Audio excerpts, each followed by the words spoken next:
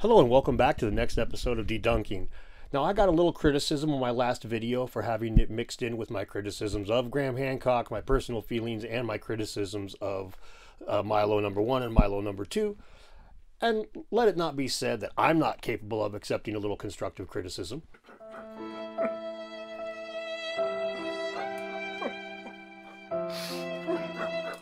So I'm going to change the format here a little bit. I'm going to just do pure debunking in this video. And when I'm done with all eight of the videos where I debunk the debunkers, I'll go ahead and go through the entire series of Ancient Apocalypse and say, this is where I disagree with Graham. This is where I think he really should have done better. This is where he just shouldn't have even tread in these waters at all. But I'm going to save that for the end. And in these, we're just going to go strictly with debunking. So anyway, let's just jump right on into it. In this video, I'm going to debunk the debunkers on part one and part two of Ancient Apocalypse, since the last one was slow, slow and meandering. If you want to be able to reference this or something, we'll put it all together for the first two episodes. Anyway, here we go. The first thing to talk about is both Milos basically say that Gunung Padang has lava tubes. In this whole episode, they keep calling Gunung Padang a hill. They never mention, as far as I'm aware, that it was an extinct volcano. Volcanoes, of course, famous for their inner chambers. Now, what happens inside of volcanoes? Lava tubes. And yes, those chambers most likely would be lava tubes. Graham Hancock asserts that these sites are usually based on some like world navel omphalos i believe is how it's pronounced but like some some almost unmovable site that people would eventually develop into something like this so it probably is lava tubes underneath it just like it's a spring under the pyramid at cholula and there's a cave under giza like he talks about so it's a big nothing burger. Them bringing up this point shows that they don't understand Graham Hancock's arguments on a fundamental level. The next thing that was got wrong in part one was Nan Madol, particularly by Mini Minuteman. He completely misrepresented Graham Hancock's position on it, saying that Nan Madol is an archaeological site on Pohnpei Island, and the reason why it gets lumped into this, you know, lost civilization hypothesis so much is because it is very slightly below the waterline. when the reason that it gets lumped in with all the rest of this lost civilization stuff is because of the legends of lost cities off of the coast and the two pillars that are under about 25 to 30 meters of water. Um, now, the pillars are sometimes debated between archaeologists. Nobody knows for sure, but it's the reason that people go there, not just because it's a few inches of water and it would make his hypothesis sound better. But that's where Mini Minuteman went with that one. Also, with Nan Madol, he claims that the people that are there tell us the stories now of how it was built. But there's really two stories about how it was built, and one of them says it was influenced by a neighbor that a neighboring island was influenced by it, and the, the radiocarbon dating shows that to be backwards. So something's up there. And the other legend is two sorcerers levitated stones to build the place. So I think we could probably rule that one out, at least between skeptics like myself and the two Milos. So Mini Minuteman just basically misrepresented Graham Hancock and the archaeological knowledge that we have of Nan Madol in order to make his case, which is not the kind of thing I would expect from a scientist debunking pseudoscientists. Now, in part two, we see Milo number one make the same kind of mistake with Cholula, where he's just like, oh, there's a spring there, no big deal. It really shows a fundamental misunderstanding of Graham Hancock's whole position on these structures, and I'll make a video on that stuff later, but for those of you who know what I'm talking about, you know that that's just, it just shows he's a fundamental misunderstanding. And Milo number one makes another pretty glaring error here, as I would see it. Let's say the idea of a white Quetzalcoatl is not the invention of Spanish conquistadors, but truly came from the original uh, religion of the Mexica, of the Aztecs, of the Nahuatl people, uh, or of, of all Mesoamerican people. It's probably a very widespread, widespread belief. Let's say that the Spanish didn't invent that. They still chose to preserve that myth. They still wanted to promote the idea of Quetzalcoatl as white and foreign. They were burning codices, Aztec and Mayan codices, all the time, destroying them.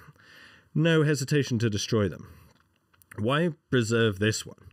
Is it because they recognize the sort of political value of this legend for them? But Stefan Milo asserts that we can't really trust the myths surrounding Quetzalcoatl because of the Spaniards, and I haven't watched the video that he references, but he does a quick little synopsis of it, and basically it's that we can't trust those myths because the Spaniards probably made them up, and if they didn't make them up, well, then obviously they used them for political purposes, most likely, because, I mean, look at all the books they burnt and blah, blah, blah. Well, Graham Hancock and Hans Gruber go to Xochicalco together, and we see the relief of the story of Quetzalcoatl on the thing, and you know, no matter what side of the crazy Hans Gruber seems to fall on there, there is definitely a relief there that would say the Spaniards didn't make the myth up. I mean, it's it's it's it's right there on the damn rocks. Come on, man. The final point to debunk the debunkers on on episode two. Both Milos make the claim that there's a very vast distinction between Old World and New World pyramids and their uses. And there is to a degree, but they show that kind of archaeological bias that Graham Hancock talks about, and I don't like to bring that up a lot, but it does show up here pretty heavily.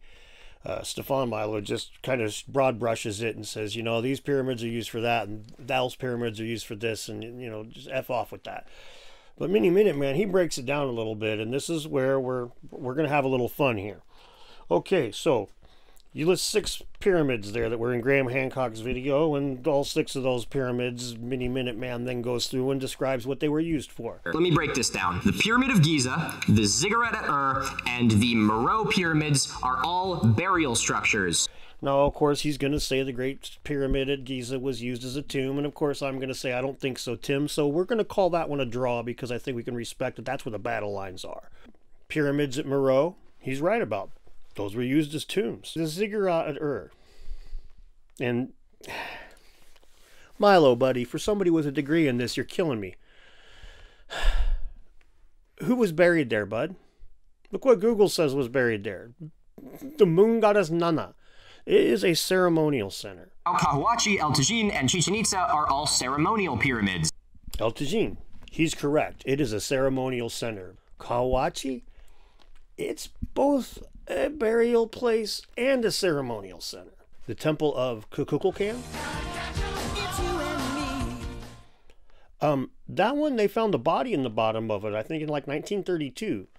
Um, I can't find a picture of the body online, but it's supposedly in this museum down there in Mexico still. I, I, it was used as a burial place. It was found like next to jewels and shit. It looked like kind of like a royal burial from what the description I can find is. So I'm not saying there isn't a distinction between New World and Old World pyramids. There's thousands and thousands of miles and a big freaking ocean between the two. What I am saying is there are similarities too, and both of these guys just mm, disregarded it because they were told that the new world's this way and the old world's that way to the point where Milo number two don't even do the research. He's just like, yeah, this is what this one's for and this is what that one's for. And, and my layman ass can debunk that in 30 minutes on the internet. That's not how you go around debunking pseudo archaeology. If you really want to debunk this stuff, you're going to have to, I don't know, dig your feet in. Now, if you're just trying to get views, you're doing just fine. But if you're actually trying to debunk the stuff, you're actually going to have to do some research. It's going to take more than just like preaching to the choir. Because it seems to me like, you know, archaeologists should be calling you out on that. But of course, they're not watching the video. They're just liking it because they're like, yeah, Graham Hancock sucks. But he's not he's not hated by the archaeological community, not at all. All right, we'll call that the end of this one, guys. Thank you very much for watching this far. I hope to see you next time. Don't forget to like and subscribe. Take it easy. He wants to be the very best pyramid there ever was. No, Graham, archaeologists don't hate you for trying to find out. They hate you because you're a whiny little bitch. no, Graham Hancock, nobody hates you.